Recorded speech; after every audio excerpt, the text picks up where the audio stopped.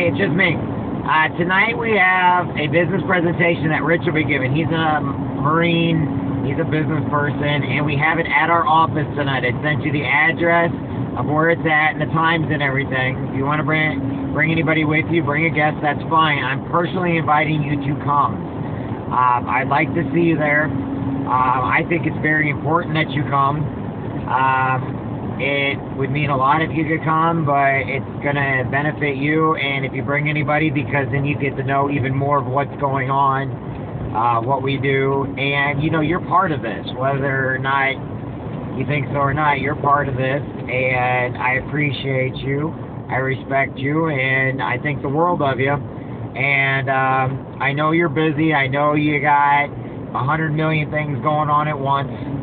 Um, however, this is one of those that if you can come, hey, please do, and bring a guest, bring a friend, because it's just going to benefit you. This is for your benefit.